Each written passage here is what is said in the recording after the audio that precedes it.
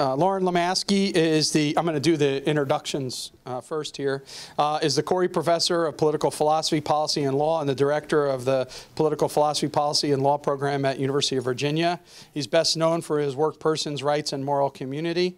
Uh, for those of us who are uh, in the public choice vein, uh, Loren also is famous for writing a book called Democracy and Decision, which developed the notion of expressive voting um, in a serious way, along with Geoff Brennan.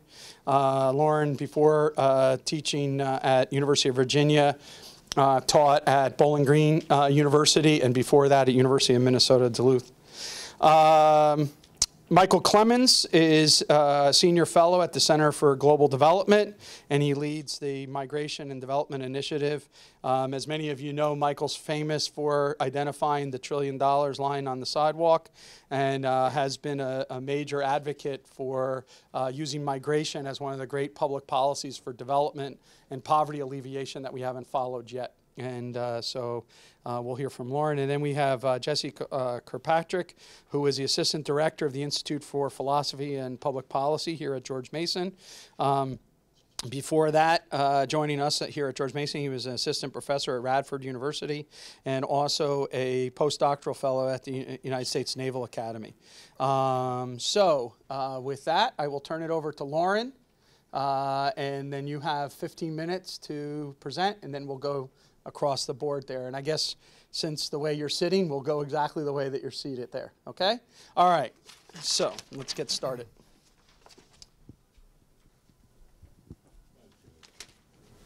I probably shouldn't ask, but what would you do if I took 17 minutes? Charge you. What are the incentives? well, all right, good. Say, I wouldn't ask that if I were in my usual environment. I'm a philosopher, uh, uh, a unusual beast in this particular zoo, but it's one that I always appreciate coming to. George Mason to me is one of the most interesting places that I ever get to visit. Of course, maybe if I had a life, it would be different. But, um, but I will tell you that uh, I'm quite sure that on my visits here, I always derive more benefits than I impart. Um, philosopher might say that's unjust. You're economists. Deal with it. so, uh, uh, in order to make sure that this holds true, and I do get more benefit than you do, I'm going to try to be quite brief here. Normally, if I stand up, I don't stop talking for 15 minutes. Uh, but I will keep within the 15 today because you scared me. Um, I want to say a little bit about the project of this book. It's to offer a theory of global justice. Hasn't that been done before, you might ask? Uh, and the answer is yes, but um, my co-author, Fernando Tesón, who um, uh, I'm sure he wishes that he could be here. Uh, he's in Florida, and he's done talks in um, uh, New Orleans and in Texas, whereas I've gotten uh, uh, the northern part of the country. I'm not sure why it worked out that way, but um, uh, most of the literature in philosophy, and I can't speak to other fields. Most of the literature on global justice has basically viewed the issue as, well, imagine a chessboard representing the countries of the world. And on some, you have this very high pile of gold coins. Uh, let's make it gold in honor of uh, the setting. And uh, uh and then on other squares, you have a low pile of maybe uh, tarnished copper. And um, in those places in which the, the wealth is piled high, people tend to live longer, healthier, happier lives. Uh, in which their prospects, that of their children, etc., is, um, is pretty uh, enviable. On the others, there are uh, most people who are scrabbling for subsistence, if lucky, and often not even that. Um, they die younger and sicker. Well, I guess if you die, you're equally sick with anybody else who dies. I mean, that's dead, but you understand what I mean. Along the way, not so pleasant. Uh, their, um, their ability to partake of some of life's goods is less than anybody in this room. And uh, they're, probably care for their children as much as your mom and dad cared for you, but uh, uh, often are unable to provide for them what they would like. Isn't this unfair? Doesn't it almost leap out at us saying uh, something ought to be done about this? And in the global justice literature, what is done here, what's advocated, is you take some of the coins that are piled up high and comfortable and move them to those who have little. That is to say, the issue of global justice, or rather global injustice, is one of wrongful distribution. So what's called for is redistribution. If this leads you to think about uh, John Rawls's theory, well, yeah, that's part of what uh, theorists have brought up. If it leads you to think of utilitarians like Peter Singer, yeah, that's another strand of it. But basically, the idea is from those who have much, more be taken to give to those who have little. Now, I want to come back to this in a bit, but uh, let me just say that this book does not proceed with that as the starting point. That's more like the concluding point. Um, there's more to justice than just distributive or redistributive justice. We could talk about the difference if you'd like. Uh, but in the tradition to, of which I'm heir and to which I'm partial, uh, justice involves respect for individuals' rights. What kind of rights? Well, my boss at UVA uh, phrased it as life, liberty, pursuit of happiness. Probably those of you in economics program wish he had just followed John Locke and said property instead. But, you know, he didn't. But he became president. Good luck for you trying to do that. Um, so, uh, what we thought we ought to do is at least begin thinking about global justice in terms of whether individuals' rights to the integrity of their their bodies, their lives, their stuff is respected, and if it isn't, that's a signal injustice. That is to say, to provide a genuinely liberal theory of global justice. Now, it might surprise you, but I think that before we wrote this, you know, basically did not have a, a niche in this particular literature. But of course, um, that's a philosophy literature, and I've been learning in my short time here today that economists have said other things that um, that are really useful in this regard, and that's part of what I mean by saying that I benefit more coming up here than I provide to others. But that's a that's a, a, a digression. Um,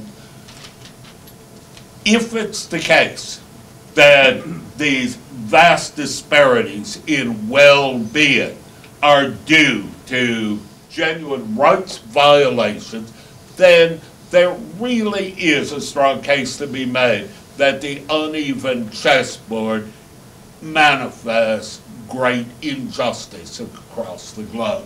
My co-author and I, after examining this, uh, come to the conclusion, yes, that's right.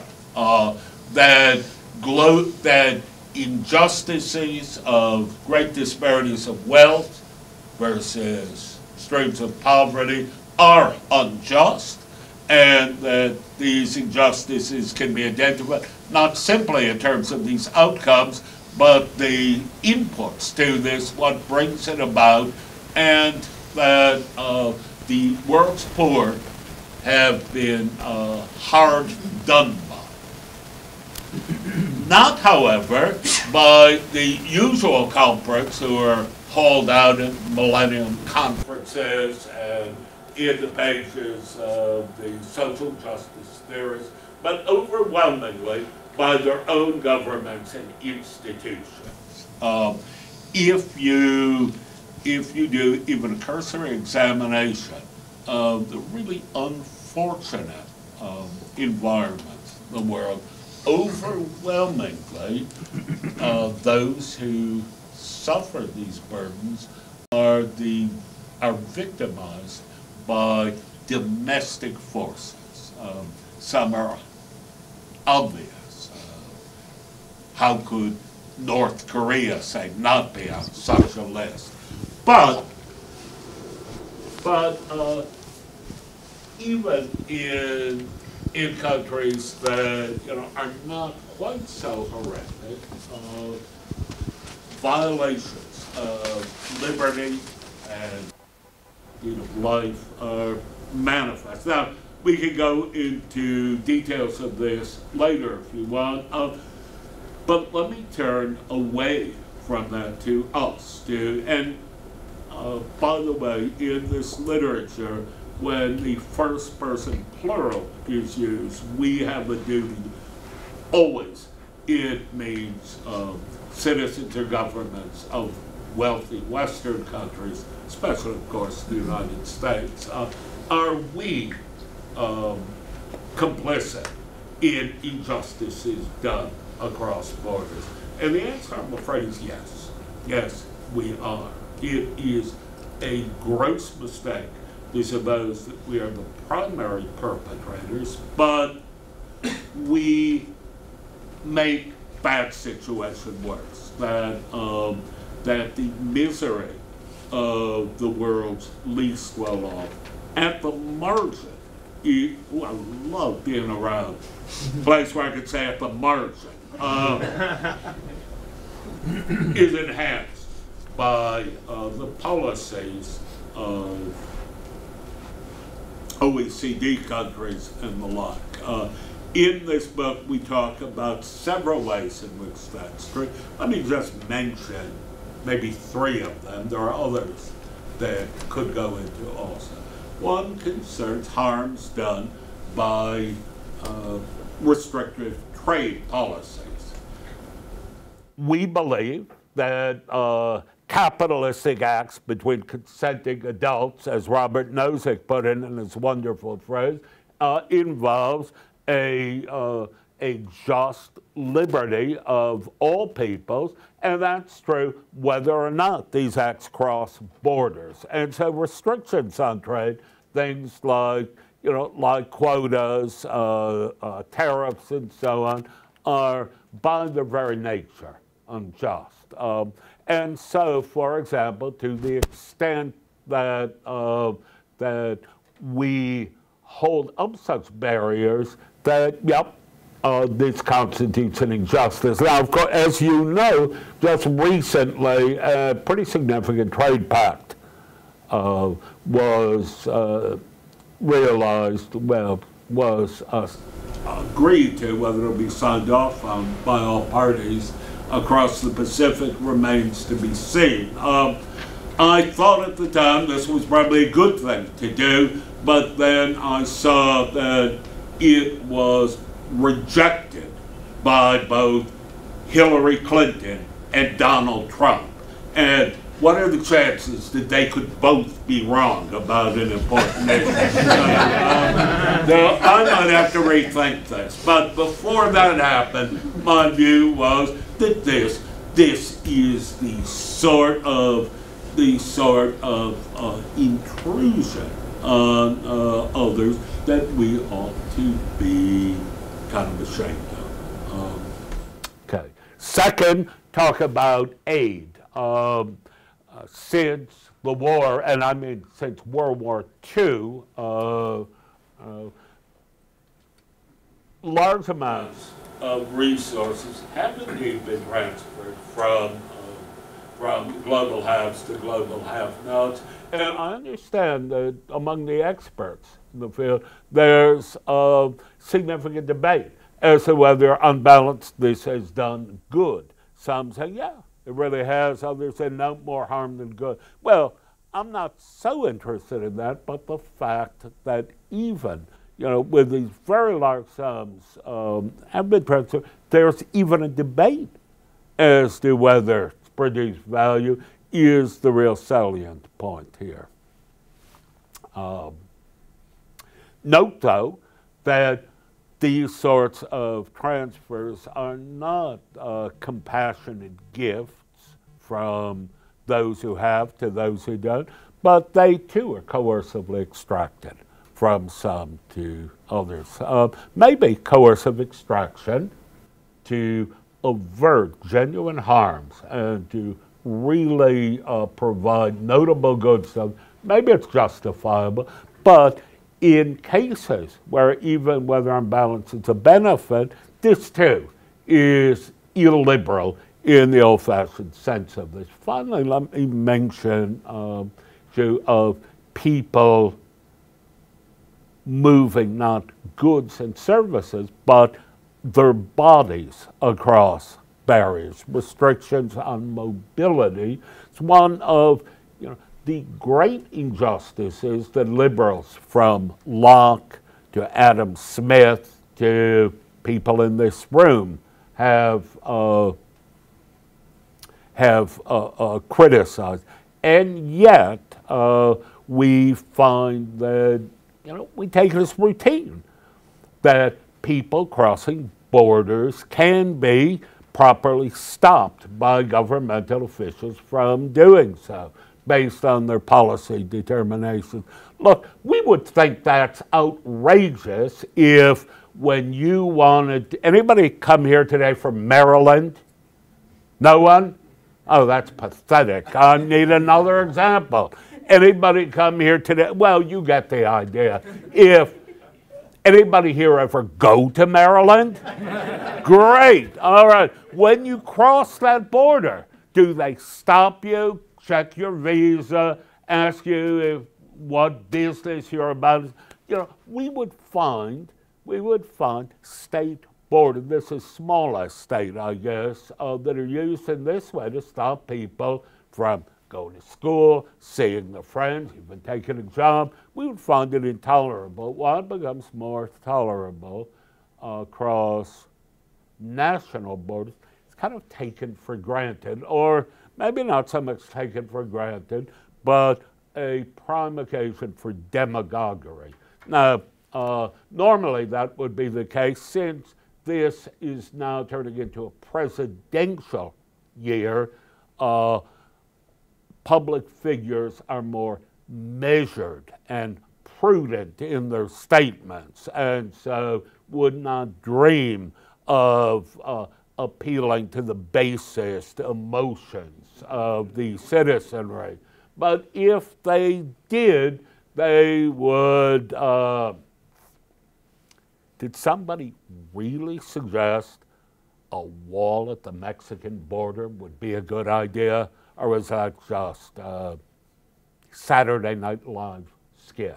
Uh, yeah, well, you get the idea uh, that uh, that restrictions on individual mobility are alive and well in our public discourse, and this too is something that we take issue with. Um, I think events of recent weeks have fueled this issue. With, uh, thinking especially of the latest massacre in Paris, and unfortunately, one has to say the latest massacre because you know the Charlie Hebdo one for a while seemed to be pretty big stuff until until it got displaced by the events of what is it now three weeks ago. But uh, this has produced an enormous amount of um,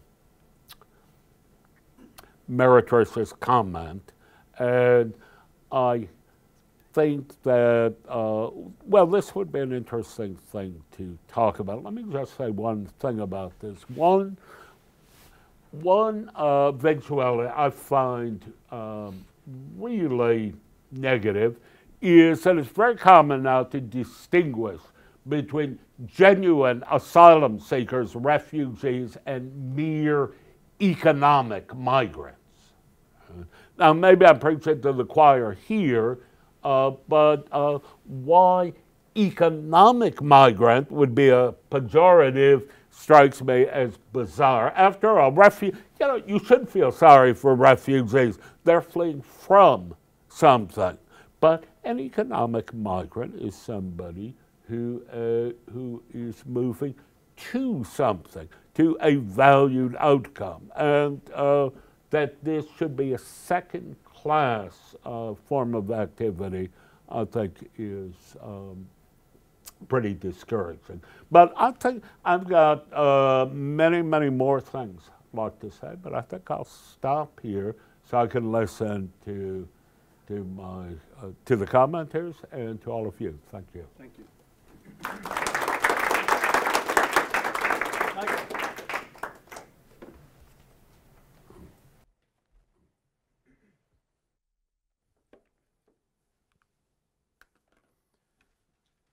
Thanks a lot for being here. Uh, Pete, thanks a lot for the invitation. It's an honor.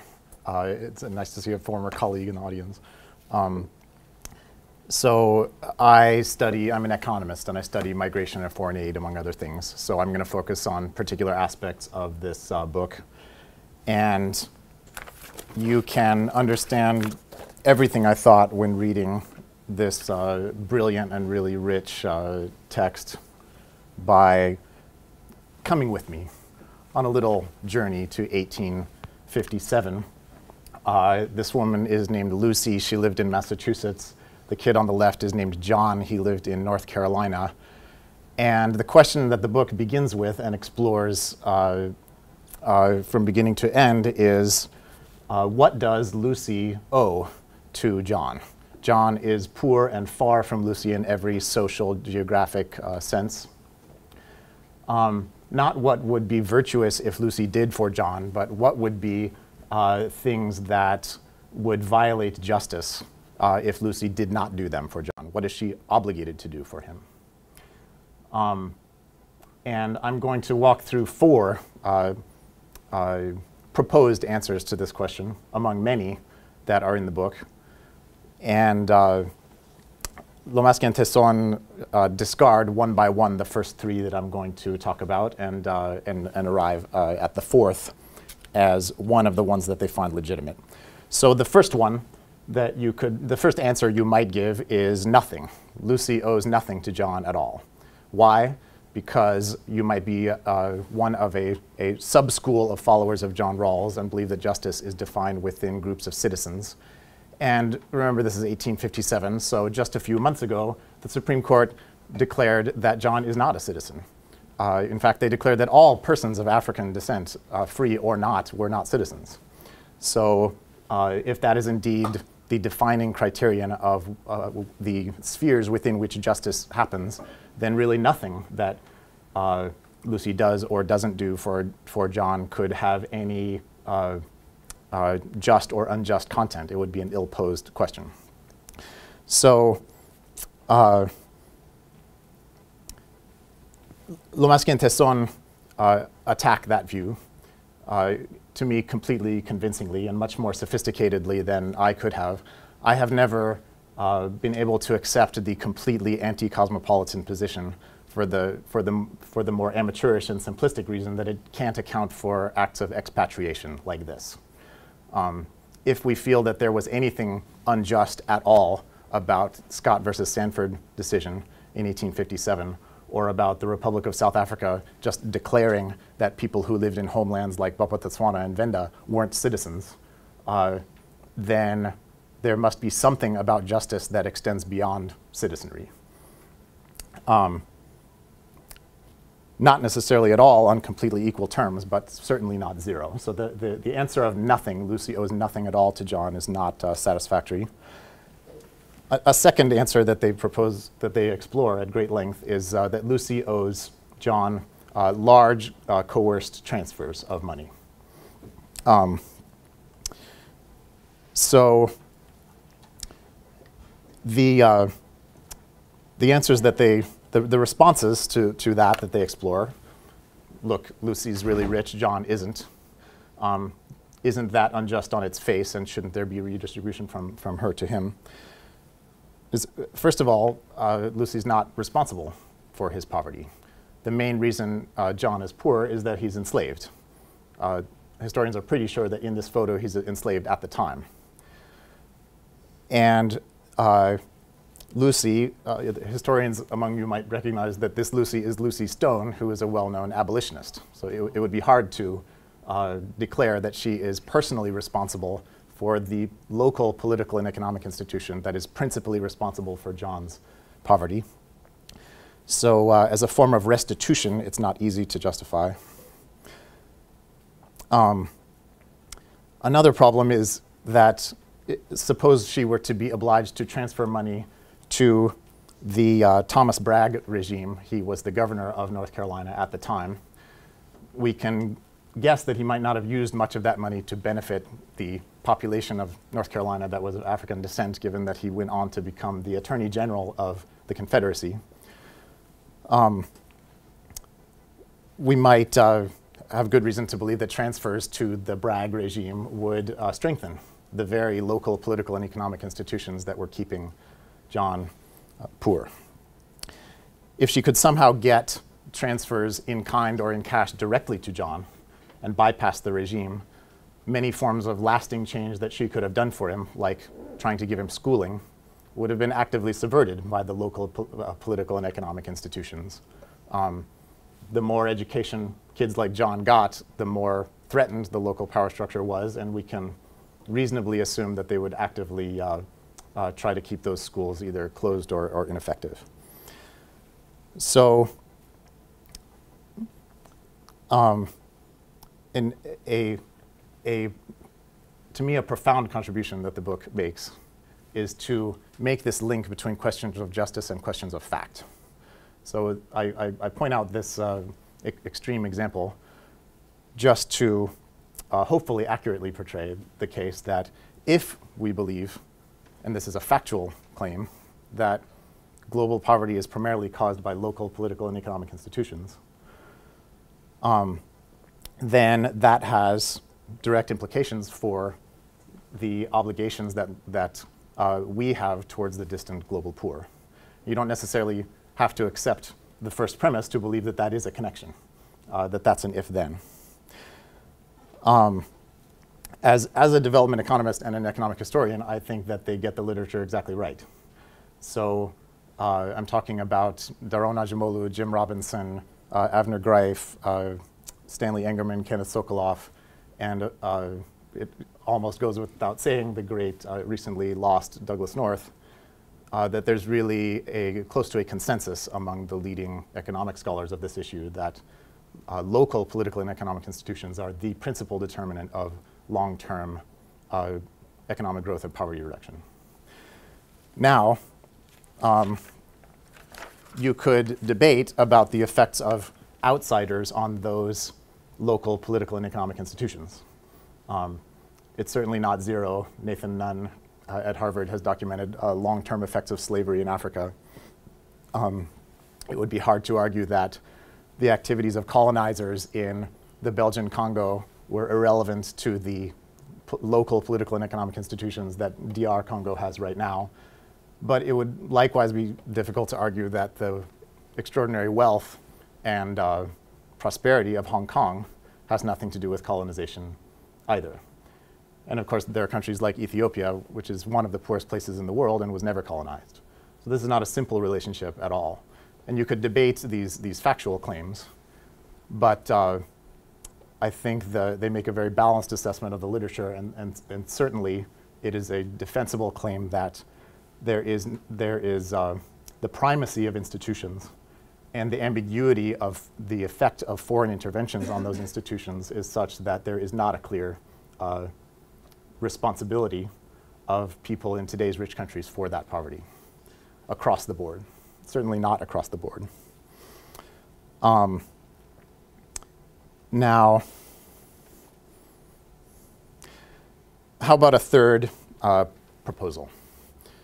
Um, Lucy owes it to John to forcibly prevent kids like him from coming to Massachusetts. Uh, block them by the border, maybe stop them from leaving. She owes that to him. Um, Lomasky and Tesón go through a, a, variety of arguments for why people could hypothetically believe that to be true and demolish all of them in uh, uh, sometimes spectacular uh, fashion. Um, you could argue, for example, that Lucy owes it to her white neighbors to preserve their freedom of association because they prefer associating with white people in Massachusetts. And I hope I don't even need to comment on that one, but uh, Lomasky and Tesón do take these things very seriously, and they point out, among many other things, that uh, such an obligation would violate Lucy's right to associate with black people if she wants to. And there are many, many other reasons why uh, uh, her obligation to preserve others' freedom of association is uh, problematic at best.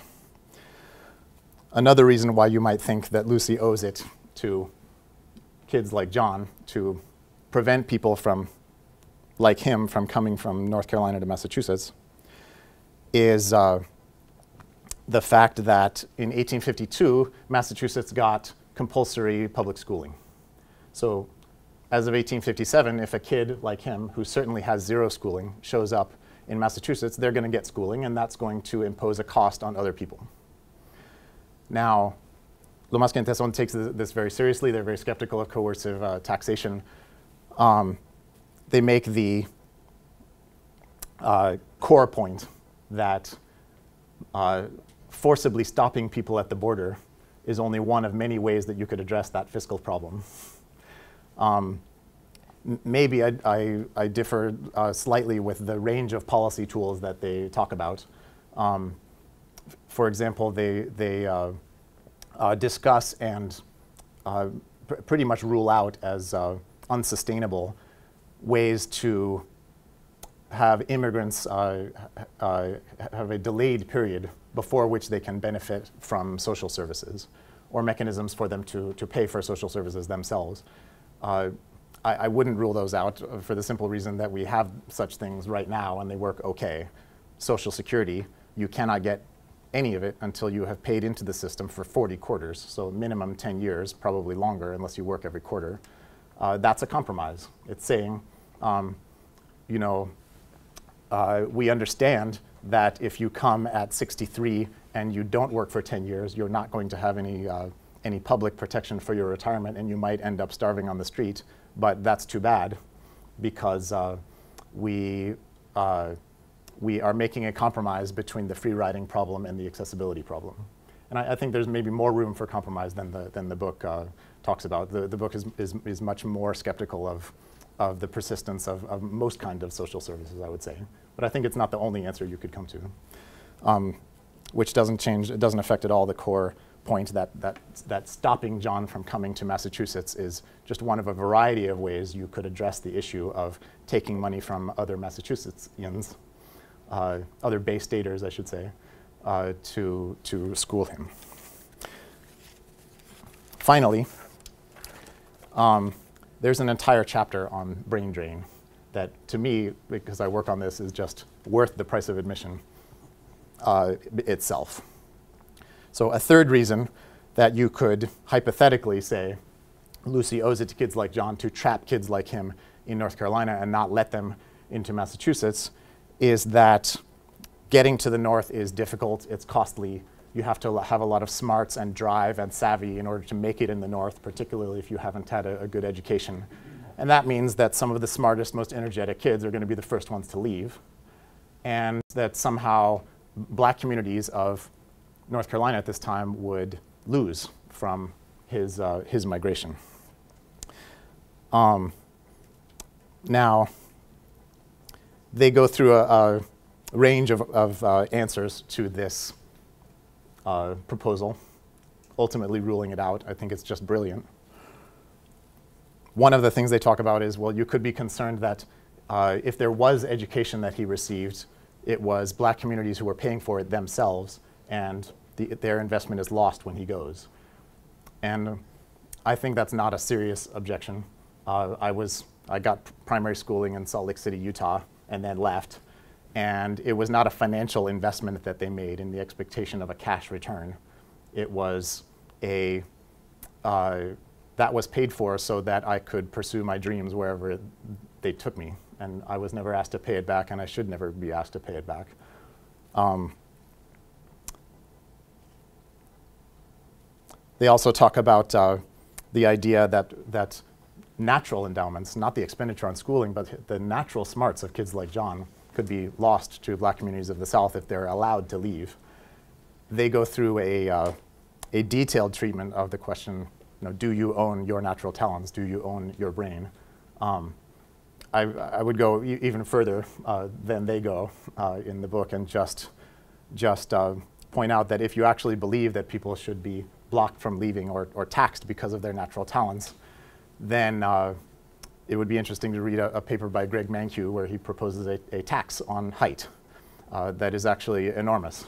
And uh, for some of the people in this room would, would mean uh, tens of thousands of dollars a year going to the federal government due to the natural endowment of your height, which has been shown by, uh, I think it's Anne Case uh, and a, and a co-author, to affect your income, among many other things.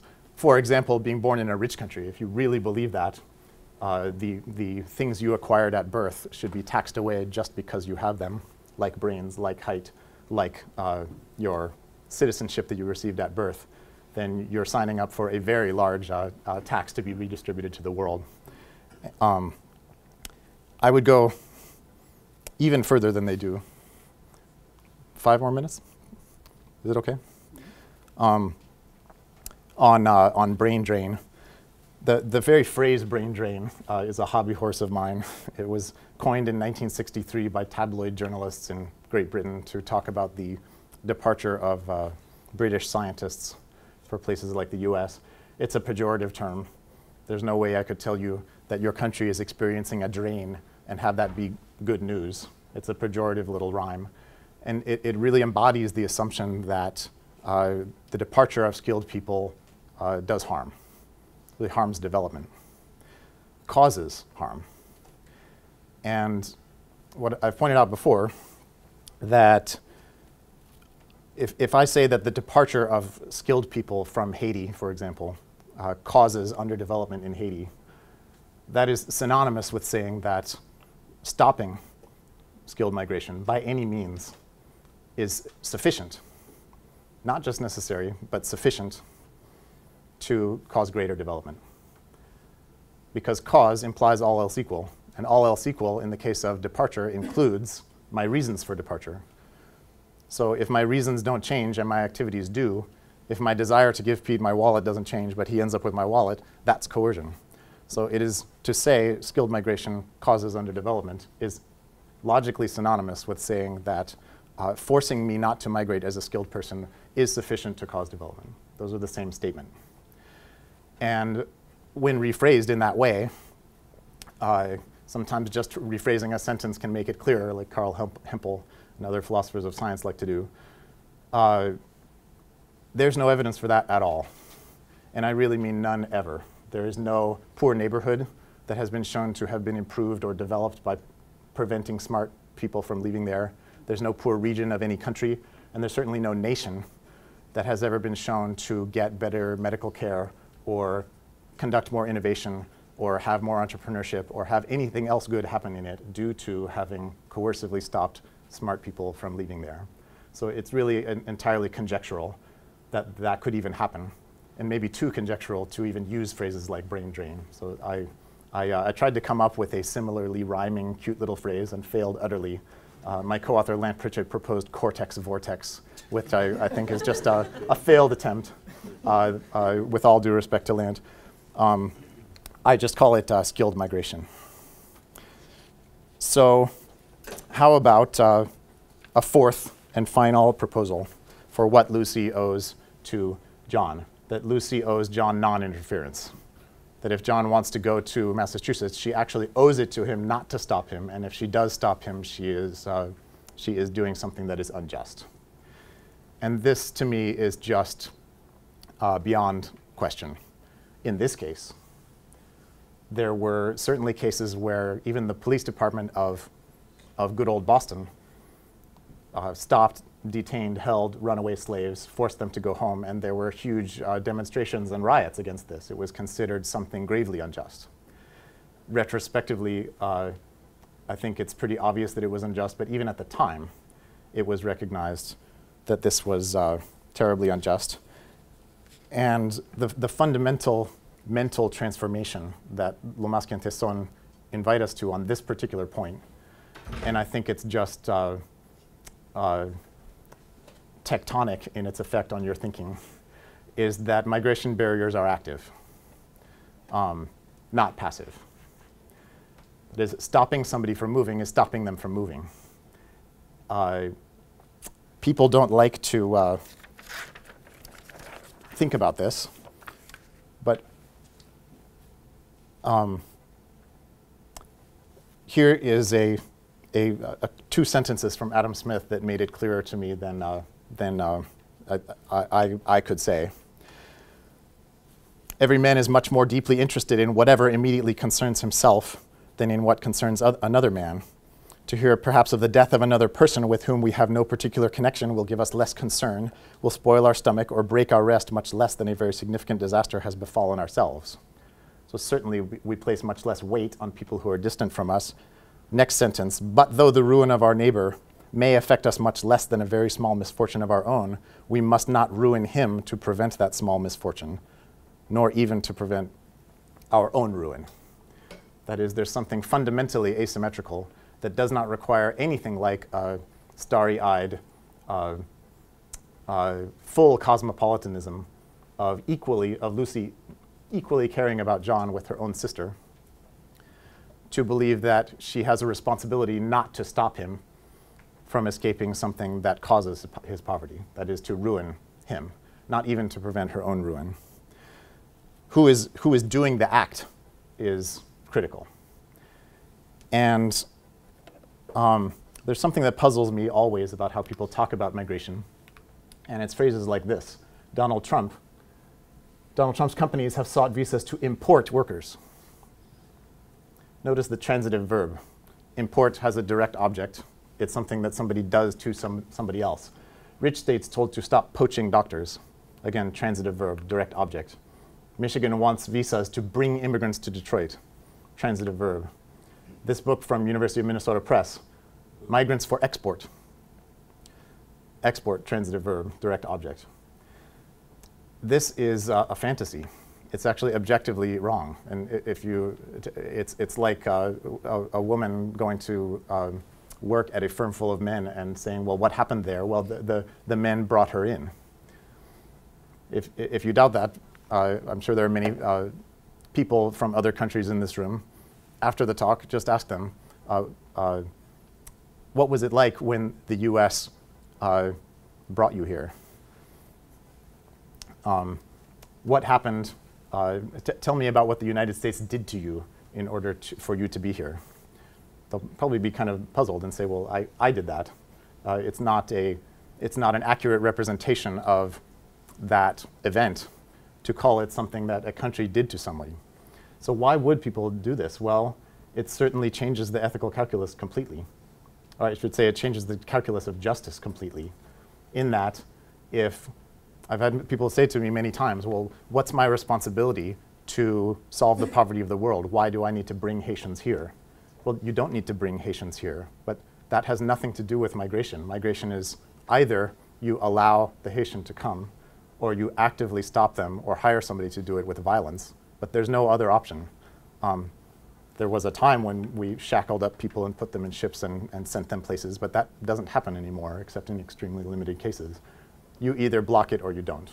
And that's the, the calculus of justice in this case. It has nothing to do with this, and this, this fantasy might exist for the purpose of letting people uh, uh, make a, reach a different conclusion on what is just or unjust than the one that is uh, uh brilliantly and uh, I think richly defended in this book. Um, with that, I want to uh, move on to other subjects, and thanks a lot.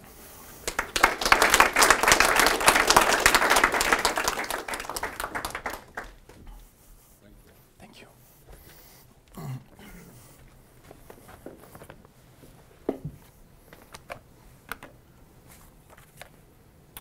Great. Um, well, thanks to to um, to Mercatus and everyone who worked hard to make this event happen for the, the invitation to be here. Um, thanks to the authors, one in absentia, the other present, for writing a fabulous and extremely interesting book. Um, it's a stipulated thanks because um, the book is so good that it's. I struggle with finding things bad or critical to say about it um, but I'm going to do my best. Okay. Um, so one caveat is that um, is that you know so, so full outing is that um, I'm not an economist. Um, I'm trained in political science and philosophy. Um, so I am not well suited to critique the empirical literatures that were drawn upon.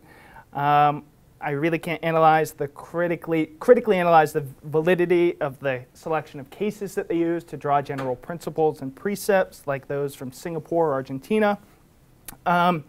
Uh, the, the, um, although given my comparatively limited knowledge on the subject, um, from what I do know, their focus on the badness or goodness of institutions and institutional actors seems to me to be correct it's the correct target of locus and concern. And we, we, we just heard, um, I feel somewhat validated and, and, and, um, and the, you know, echoing the, the, the, sentiment that was just expressed. So I want to, with all of this, is, is to say that I want to limit my, um, I want to limit my, my comments um, to really two areas. The first is a very, very briefly situate the project in the current global justice scholarship in the literature and how it is. We heard a little bit from Loren um, where he's coming from, and I'll sort of round that out a little bit. I'll spend a little bit more time on discussing the wrinkles I see in the very long chapter on war. Um, that is my area of expertise, which is the ethics of peace and war, peace and war, um, particularly humanitarian intervention, and its relationship to, um, to the author's conception of the state. Um, but I want to begin by way of anecdote, I think, to, to show what is the, um, the power of the core central thesis of the book. So um, I read a good bit of the book and, and prepared my comments over Thanksgiving. I have a nine-year-old son. It allowed me to spend some time with him, and um, he has a pretty good sense of what my literary and scholarly tastes are. Usually, when he asks me what I'm what I'm reading or writing about, it has to do with um, war, political violence, famine. You know, really kind of uplifting subjects that he's he's really into. But he saw the title, right, and um, and justice at a distance. So he asked me, What's the book about? And I, and I said, um, Well, what do you think it's about? And he said, I think I have a good idea, but I can tell you what I would want it to be about. Okay? And he said, um, I really would like it to be about superheroes that see objects in the air and they can bring justice at a distance. I said, okay, well, what it is about is, is um, it's justice at a distance is so you have a, another a, a, co-author for your next but he said that justice is primarily no, made us remove I knew it would expand our target audience. the second edition. So, um, but he says the sequel. So he says that. So I told him justice is primarily about leaving people alone, right? That's the key thesis in the you know page two. And he says to me, um, well, if justice is about leaving people alone, then it's really unjust that you have to do a book report on Thanksgiving. And um, not to make, and then, you know, and I tried to say, oh, well, it's voluntary, and, you know, he, he left. I, after that, it was like a parting shot, but not to make too much of the exchange, but I think it's demonst- demonstrative of the fact that the thesis resonates with common intuitions and principles, right? My son thought, well, you've sort of been, you know, when his, his teacher assigns him a, a, book report and says, read this, give it to me in three days, you know, and, and there's, it's, it's highly coercive, right? I mean, it's a child. So, um, but it resonated with him that he thought that it was sort of a bummer to be coerced, especially during Thanksgiving. And that, so in short, the principle of liberty as, as non-interference, I think, can be persuasive, and the authors have done a good job in, in, in showing that.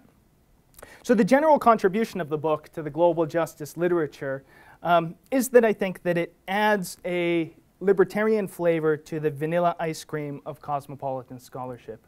So as we heard from Loren a moment, a few minutes ago, is that um, the focus on global justice is generally on um, positive assistance and massive redistributive schemes. And that's what, that's what the, the, the, the core of the literature calls for.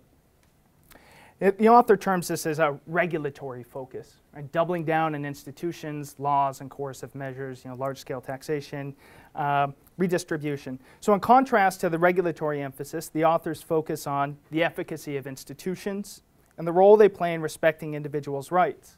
And this dovetails with the precept noted on page two, which I mentioned a moment ago that my son really found resonating, which is about leaving other people alone, not interfering in them. And that's what cosmopolitan justice requires, is people have the freedom to pursue their personal projects. And to wit, this is a refreshing departure from the typical cosmopolitan approach. So I, I wrote my dissertation on a, a, cosmopolitan approach to warfare ethics, and um, I wish this book was around then. It's a, it's a, a refreshing complement to that, to that, to the literature. Um, more specifically, I was heartened by the use of empirical social science literature. So um, I'm speaking to a room full of primarily economists, um, and, and so you may or may not know that sort of the stock and trade of philosophers is often to um, try to elicit intuitions as part of the methodology, elicit, elicit intuitions, um, often by appealing to very cartoonish thought experiments. Um, and then from the intuitions that are elicited from these outlandish thought experiments to draw general moral principles, which are then taken as objective fact. Right? Um, this isn't the approach that was taken in this book. Okay, so those are all the nice things that I'm going to say, and now I want to turn and put on my, the hat of a critical commentator. So I want to focus here on the question of, uh, on the topic of war. But first, I want to unpack the book's conception and role of the state vis-a-vis -vis the relationship between citizen, compatriot, right, so co-citizens, and distant others. So in my view, it bears on the permissibility of humanitarian intervention. So the end goal here is that I want to talk about humanitarian intervention, and we're going to take a little tour through the conception of the state and the individual as it's laid out at the beginning of the book. Okay, so the authors begin with a primacy, putting a primacy on personal value and projects, right? Uh, a defense of, the pers- of, of personal value, things that are primarily of value to the individual. Personal value, in turn, underpins the author's defense of personal partiality, right? You can, because you, because you can, you can prioritize personal value, that is, that you're going to be partial to oneself. Right? We heard this, this, um, this quote from Adam Smith just a moment ago. You can be partial to your projects, commitments, to one's family, friends, compatriots, right? But this is not sort of unbridled partiality. This is constrained by rights, you know, such as life, liberty, property, the pursuit of happiness, and a reciprocal respect for others' own partiality. So you leave people alone, let them do their thing, and they will do the same for you. Now, this connects with the twin importance of the primacy of liberty it is the conception of liberty as non-interference. Right? I should be left alone to pursue my projects and personal prerogative via personal valuation. I should be free to value my personal projects as I see fit. Right? So if I want to go home and play Nintendo and eat chips, I should be free to do so. If I want to pursue philosophy and have an interesting conversation like the one that's about to, to ensue, I should be free to do that as well. And I should be free to prioritize that project within reasonable constraints. Okay, now this is in part supported by appeal to Smith and Sidgwick's observations on associative, what philosophers call associative preferences. That's that individuals are partial to themselves and their close associates. Right? This is the, what we just heard from, from Smith and uh, from the quote from Smith, and that since each is master of her own personal valuations, then she has the prerogative to order her priorities accordingly. Okay? So this is justified. So in terms, we have the beginning. We all have these personal projects that we're partial to. Yeah, no big surprise there. And it's justified by a rights theory of Lockean liberalism. Right, we find this on page 56.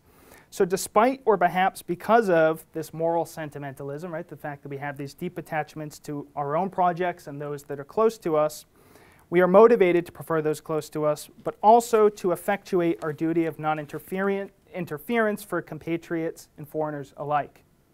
Now the authors argue that this theory of rights is pre-political and universal. That means it's cosmopolitan, right? It's, it's a effectively a natural right in this sort of Lockean sense. So what this does is it both delineates the limits of our duties for compatriots and foreigners. Beginning of the book talks about the guy who prefers to spend his $4 on a skim vanilla. Is it you that prefers the coffee, the $4 on the latte, as the coffee drinker in the... I, my deductive powers... Right yeah. I owe you $4, So it's not, it's not unjust to prefer the $4 on the, on the latte. You're not violating the rights of the poor. Okay? But it also is calling for reciprocation, right? Yours and other right to non-interference must be respected too. It's a two-way street. Okay, fine. But if the main principle of justice is to leave people alone, and we can prioritize our own projects and those of our associates, and if the rights are universal, how do we navigate the very great needs of those less fortunate, like those living under tyranny whose rights are being violated, who are being interfered with on a daily basis? So, what do we do when their right not to be interfered with is violated? And that's the core question here, okay? So, how do we tame the potential for cosmopolitan mission creep, right? This cosmopolitanism that is interfering in all of our lives. Put it another way, how do we ensure that individuals can pursue their personal projects while respecting the cosmopolitan rights of distant others, but not owing onerous positive assistance. Right? You should be free to buy your latte and not have to contribute that $4 to the jar for UNICEF every day. Okay? But so how do we how do we have these sort of this this tension if we think it's a tension? So here the authors make an interesting move, which is they rely on the fiduciary duty of the state to its citizens in drawing the distinction between a duty to interfere in domestic freedom deniers. And so if you're living in a state, then the police or the, or the government has a, has a, co-citizens have an obligate, have a duty to interfere when you're interfered with, right? This is, we talks about Kant and all this. And so, um, and there is a mere permission to do so when considering foreigners. So we have a duty that is entailed in the domestic situation, and it is a mere permission when, when thinking about foreigners. Now, we have a quote here on page 209 which says the reason for this is that the state owes a fiduciary duty to its citizens. The state has an obligation to protect its own citizens against one another, but only a permission to protect strangers. It's not a duty. Right? That's why you can drink your latte and spend your four bucks while, while not donating that money to those that are being interfered with in distant lands. Okay, so the criticism that I have is that this conclusion is made via fiat and not argument. Um, I'm sure you'll find it persuasive. Uh, I find the intuition persuasive. And to be fair, the authors do note previously published works where they address topics such as this one, but at risk of trotting out a likely familiar objection, which I'm going to do anyways, this libertarian view of the state is challenged. Um, for example, Allen Buchanan writes in his piece, The Internal Legitimacy of hum Humanitarian Intervention, he says that the view is afflicted by a deep incoherence, if not an outright inconsistency. It justifies the state as a coercive apparatus by appeal to the need to protect universal interests while at the same time limiting the right of the state to use its coercive power to the protection of a particular group of persons, identified by the purely contingent characteristic of happening to be members of the same political society, end quote. So if the triumvirate of rights, that is life, liberty, property, and the pursuit of happiness are universal, what's the moral basis for protecting only those who possess the contingent property of being members of the same political community? Now, I don't necessarily hold this view, the one that I just articulated, that it is an incoherent position, and the authors obviously reject it, but fully addressing such a critique such a critique would have strengthened the chapter in my view. Now let's assume, arguendo, that the state does have a fiduciary duty and it is limited to said citizens, okay? here's where I want to turn to the topic of just war, and particularly humanitarian intervention. I lost my. Where am I in terms of time? Because I can sort of. I'm good. Okay. Um, I could go on and on, but I'm not going to. You know, I want to get. Okay. Um, I don't want to steal anyone's time. So, on this subject, the authors state, five minutes, perfect. Um, and I'm quoting: "A government has a fiduciary duty towards its subjects." Fair enough. This includes the obligation to respect human rights at home, but because morality is universal and all persons have rights, a good government also has an obligation to respect human rights abroad. Okay, so don't interfere in others' others' projects abroad. And from this, the authors derive, and I'm quoting, an obligation to not cooperate with tyranny. All right, I'm in agreement so far. Then they go on to, to, then they go on to note that quote this purely negative obligation can be reinforced by adding a softer obligation to promote human rights globally, provided of course that this can be done at a reasonable cost. That the government can in theory tax citizens for such a purpose is to fulfill this soft obligation. Oh, I'm you know, done quoting here. So if such taxation is, le is legitimate, then a government could, in theory, tax for humanitarian intervention. According to the authors, there is no difference with respect to taxation between taxing for funds for your human rights court or for a humanitarian intervention. The two are the same. They say those are two analogous cases. So consequently, the authors conclude, and I quote, sometimes taxing people for war is justified.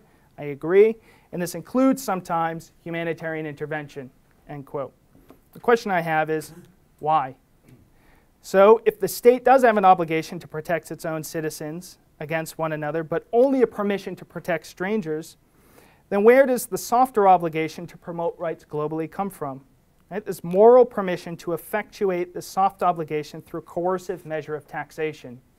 Right? So where does the soft obligation come from if we have a limited state that only its only duty is fiduciary responsibilities to its citizens, where does the softer obligation to, say, being taxed to, to provide for humanitarian wars, where does this extra sort of bit of coercion come into?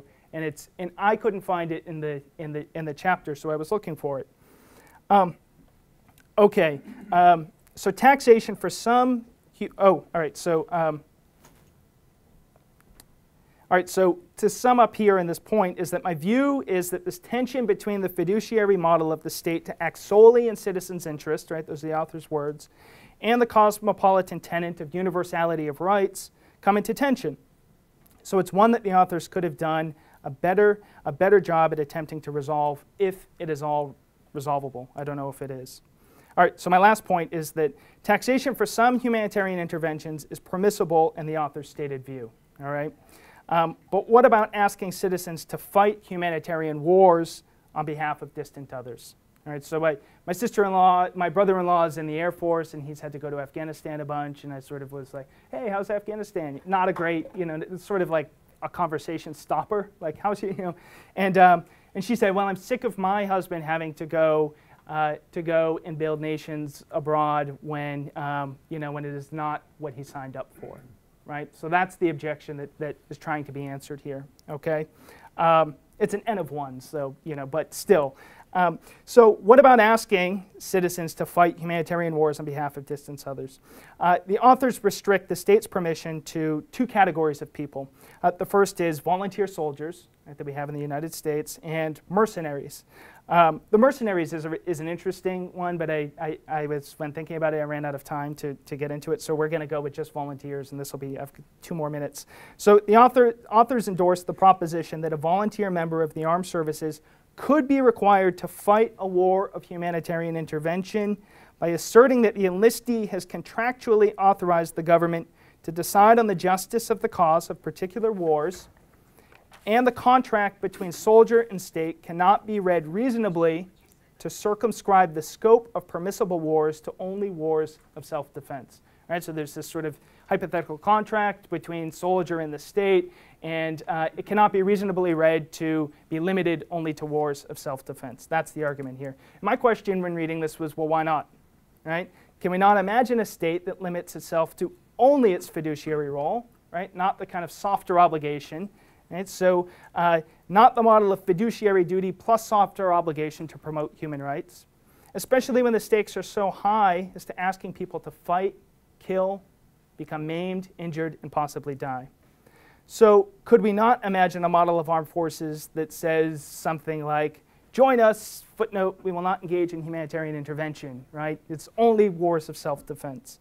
Um, I have a few more points, but I'm, I think I'm going to stop. I'm going to, I'm going to stop there. All this to say is that um, I, in fact, am um, I, I agree with the with the author's contention that humanitarian wars and taxation for humanitarian wars um, could be justifiable, um, but I think it needed better support and consistency with the particular theory. Um, so, uh, so with that, I'll, I'll, I'll stop. But uh, Thank you.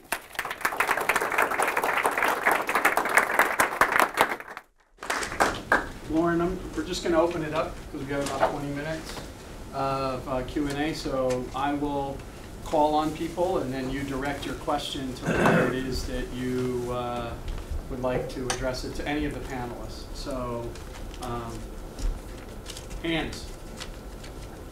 Solomon? Yeah, um, I guess this is a question for Laura just about the scope of the book. So since you sort of frame it as being very much, oh, you want me to, okay. Uh, You just check it. Just talk up. Okay, so you frame the book very much in being in this sort of contemporary global justice literature. Do you think it has anything to say to maybe people who have a slightly, you know, more classical, like, you know, maybe communitarian view of, of what justice is? I'm thinking, you know, there's the discussion in Book Two of the Republic, right, of the just state.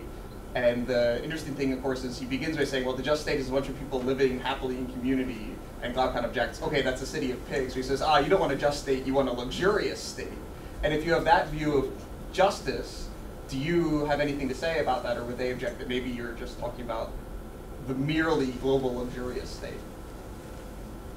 Uh, good question. Uh, as far as I'm concerned, uh, bigger the audience, the better. Communitarians, nine-year-olds doing book reports, and very hard to speak for you know who might find this of some interest, but uh, it doesn't uh, presuppose a certain party line. I hope it doesn't. At some places, we say, look, we can't argue back to first principles on everything. But uh, sure, I think the communitarians are worth talking to. Thank you. I can, if I can exercise my prerogative here, I, I have a question. When have you not? It goes to all three of you, actually, but, uh, uh, so, uh, but, um, what if the, if the empirical evidence cut a different way? How would that impact your argument, um, in here? So let's say that, uh, you know, the way even, uh, so Michael was, was giving a very, uh, telling, uh, illustration, right? Um, but what if the consequences of the migration patterns were uh, devastating to the, the other group here. Would that change the argument or not? And the reason why I ask that is because sometimes people make an argument about migration going that way, and it does appear to be now a debate over, you know, what happens with the cultural. Say, like, say that you're debating with uh, Borjas or something, right? And and so it's not an issue of rights in that sense. It's a sense of the consequences of what happens with the migration patterns. I'd say. So how would you deal with that if leaving people alone ended up with uh, consequences that didn't cut in the way that we would want them to? I think that's for you. Unless you'd like to. Uh, so, so one thing that I didn't mention, uh, which, which to me was uh, one of uh, 50 fascinating things in the book, is that it is not a case for open borders in the sense of completely unregulated movement of people. Uh, in particular, they uh, express uh, serious concern about the potential for entrants to commit violent acts. And they argued that it is uh, legitimate and just to restrict people uh, who, an, on an individual basis, are, are uh, suspected to be a, a violent threat. N- and not just that, but that the standard that is applied should be uh, lower than the, the conservative court standard of in, innocent until proven guilty, that the, the justice allows some latitude for individual exclusion on, on that margin. Um, so, so, uh, so, so that's the one thing I wanted to clarify. And, and as for whenever one is talking about uh, this issue, the, the, the a slippery slope to uh, God knows what disaster always comes up.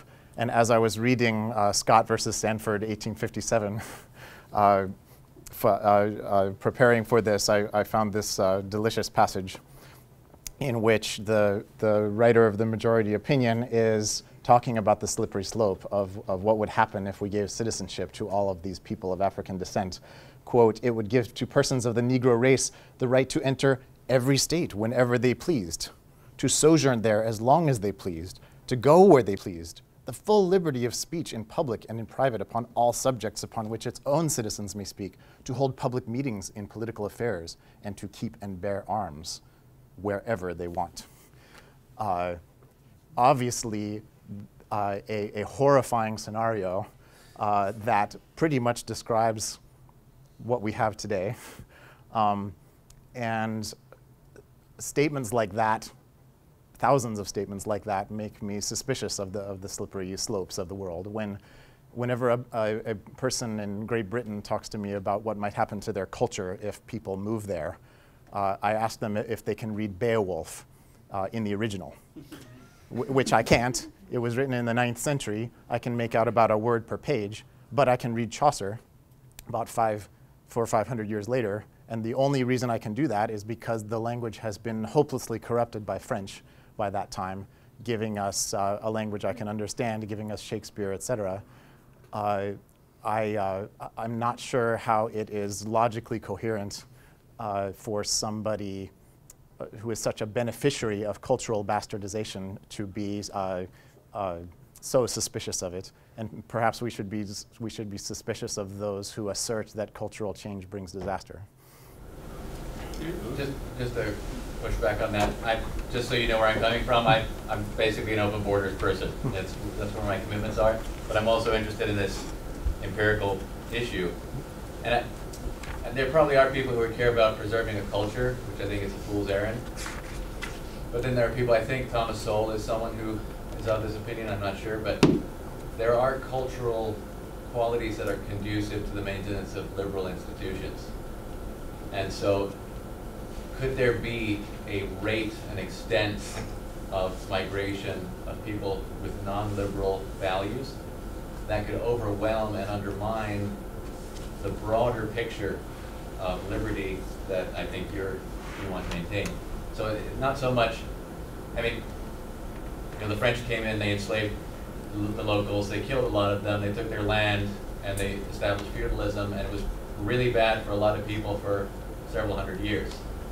So not so much that the language changed or that the literature changed, but that there was real suffering by real individuals for a period of time. So can you comment maybe from, from that point of view? This is in the book, so if you'd like to, this exact issue. Uh, I wouldn't think that the Norman invasion is a paradigm of libertarian uh, politics in operation. Uh, but uh, uh, let me bring it a little bit closer to uh, today. Uh, change of culture is, I think, pretty innocuous, frankly, because culture changes kind of, you know, I'm pissed off that I can't use any of the apps my students use. That culture's left me behind. Sometimes, you know, sometimes they tell me they'll show me how to take selfies, but then I see what it looks like and I think better left alone. But, um, but you were talking about not just change of code, but bad stuff happening. And of course, we, you know, we were all titillated by the news that one of the, what was it, eight, uh, eight murderers who, uh, Greta the Carnage in, in Paris uh, was a pseudo refugee from Syria. Big news, and so our candidates pontificated about that. The much more interesting factor is what? Seven weren't. Seven weren't. Yeah, but these are people who were settled in, part of the, and yet, and yet, um, they made even William the Conqueror's boys seem gentle in comparison. I think there's a real issue here. These conditions for maintaining civility, not reading Beowulf, although I used to do when I was a nine-year-old doing book reports. But, uh, but in terms of the conditions in which we can peaceably, um, I mean, as far as I can tell, well, Pete's going to tell me that economists have worked out the model for this, but this seems to me to be um, one of the great unsolved problems. We keep working at it.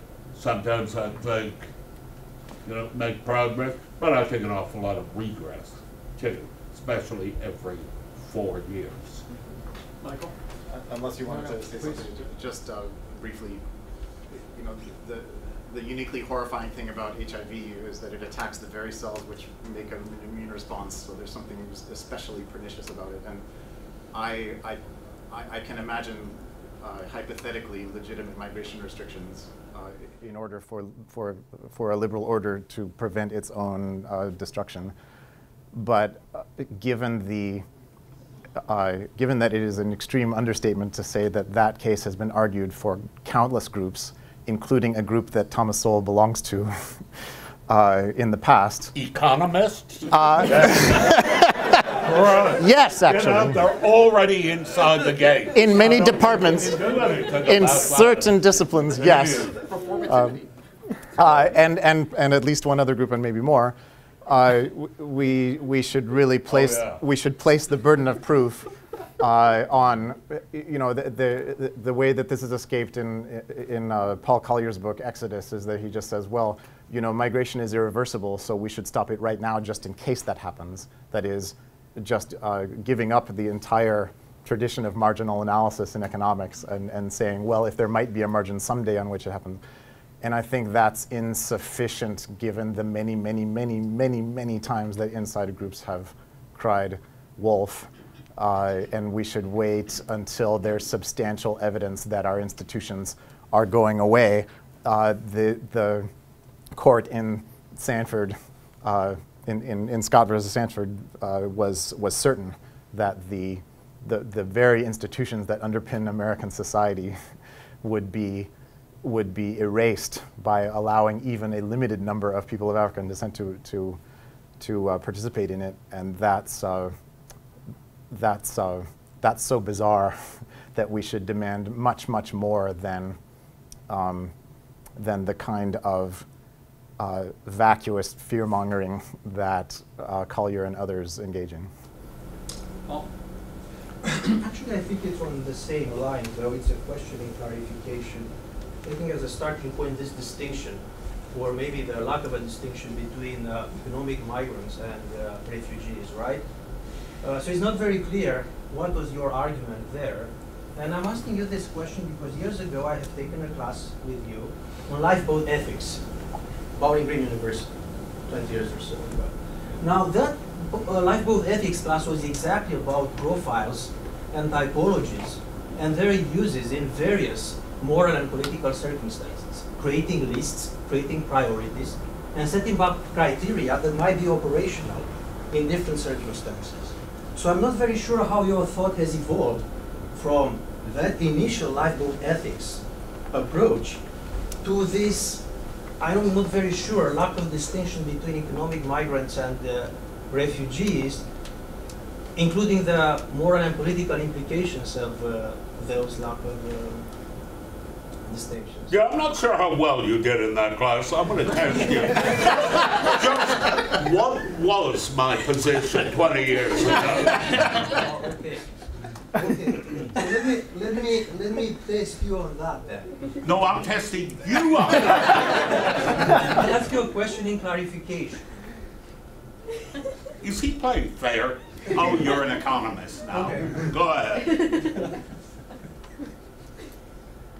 Oh, that's it. Uh, Look, I'm uh, not sure what I might have said under the pressure of uh, very clever students in that class. So I'm going to punt on that, but I'll tell you what I think now. I think um, that uh, in my understanding of how the world should be, the case for economic migrants is actually much stronger than uh, refugees, and it's much stronger because economic migration involves voluntary transactions among people, say, who want to work or study or rent places with others who want to do that, etc., cetera, et cetera. The, uh, uh, the case, though, with refugees is, of course, that typically if you're running away from Assad or, uh, or ISIS or such, you know, you're in a condition of desperation. You may be a drain on the resources of others rather than contributing to them. Uh, nonetheless, course, I think you'd have to, you know, either uh, uh, be uh, uh, very heartless or uh, have taken a lot of economics courses not to feel some sympathy for those who are fleeing for their lives and such. Um, I would be entirely comfortable with support for uh, refugees and the like being uh, being privatized. I think there are enough decent people who would be willing to support others, uh, as indeed was done, you know, throughout, throughout so much of the history of this country and other places that accepted people coming in. But uh, I don't, I don't know if that suits you. Is that what I said 20 years ago? No, actually, 20 years ago, I think that your position was clearer in terms of the criteria that we have to use in such circumstances. Who's the we?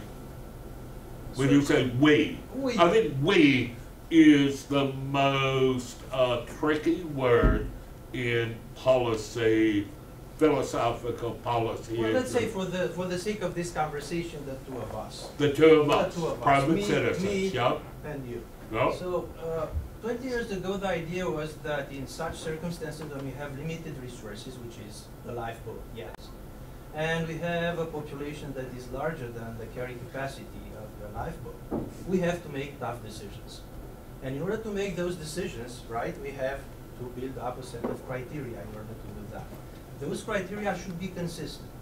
So in other words, when I'm creating two classes, economic migrants and refugees, I have to use, right, a consistent set of criteria in order to make a decision on a lifeboat situations. Now, we may say that we are not in a lifeboat situation, and then we continue conversation from there. But if we use the extreme case of the lifeboat situation, it would be helping us to focus better the conversation. Now, in your uh, reply, I'm not very sure if I got the point, right?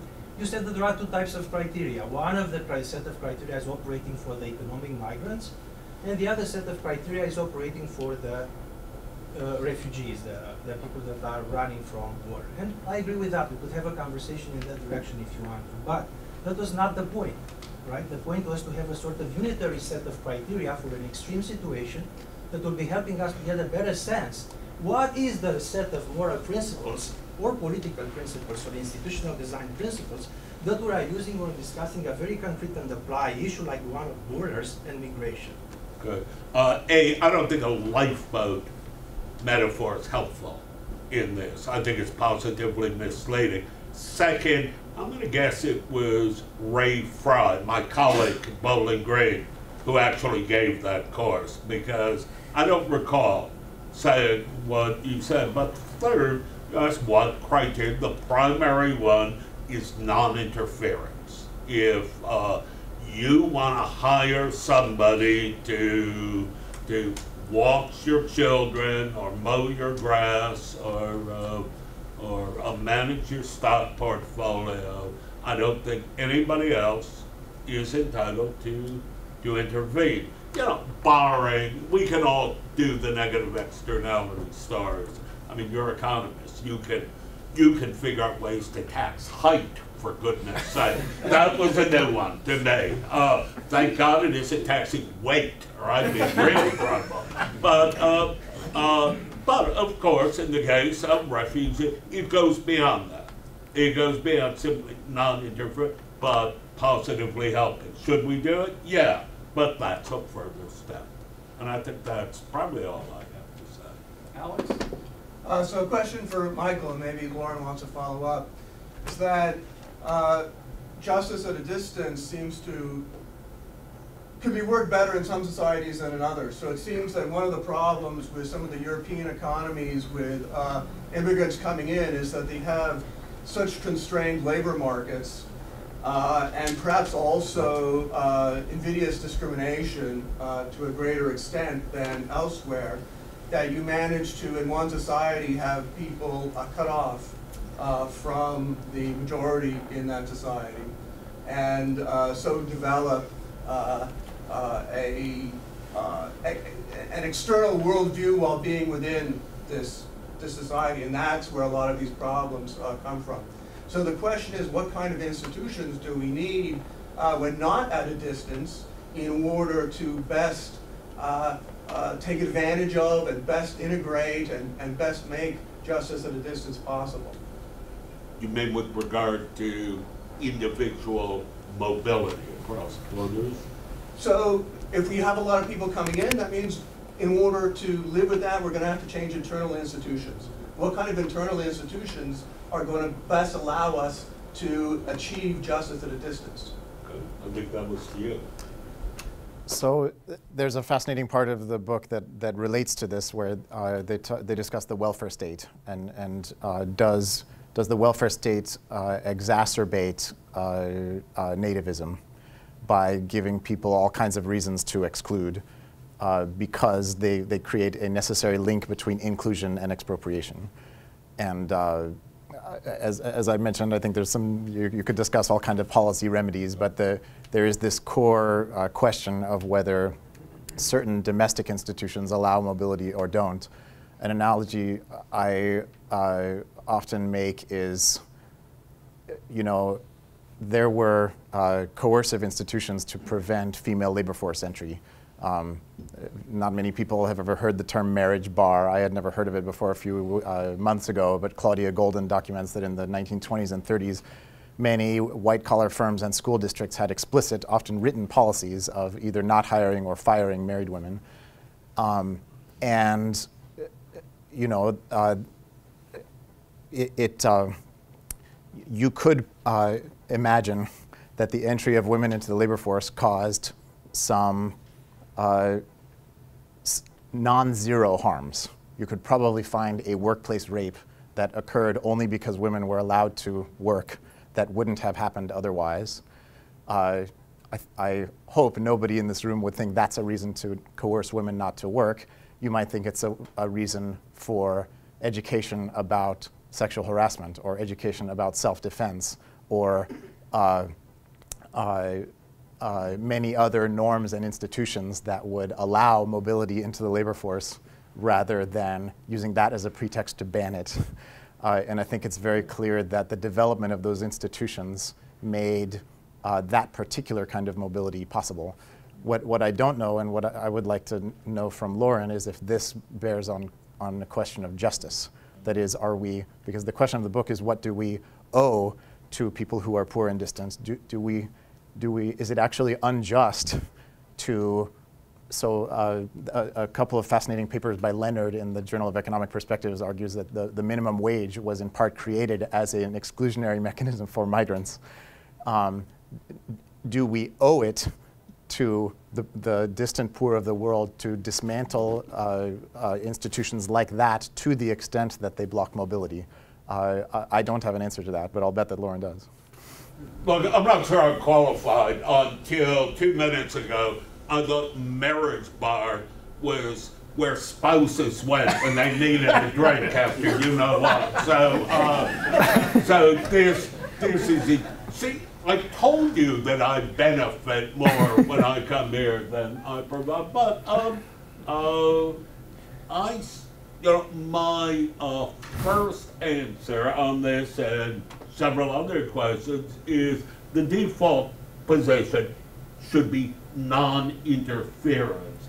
If you're suggesting that Europe involves far more interference in labor markets specifically, and other stuff too, than the US, I think that's right. Um, I think Germany has done brilliantly in this regard by sagaciously managing to get its uh, uh, its uh, population growth rate down to 1.5 or 1.6 per one, so that there are plenty of room for uh, bringing in. Yeah, I'm being sarcasm. I realize one shouldn't rely on humor in a economists, but uh, but basically leaving people alone ought to be the first thing. And I thought we, I think we agreed on that. So like minimum wage, do we? Who here really likes minimum wage?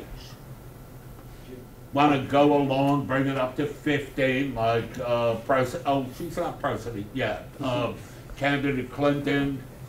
Well, you know, we're, I'm afraid, something of a minority. Is that going to harm lots of people who can least stand harm? Uh, yeah, it will. Is it liable to happen? Sure, it will. Um, I could tell you a story about expressive voting, but I've taken too much time talking already.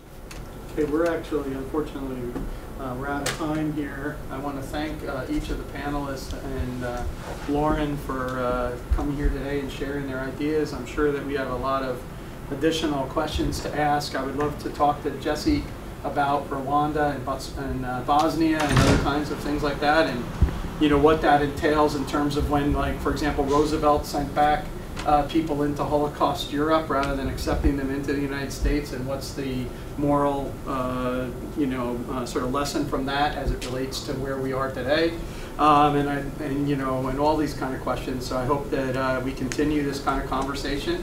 But uh, please join me in, uh, you know, thanking our panelists.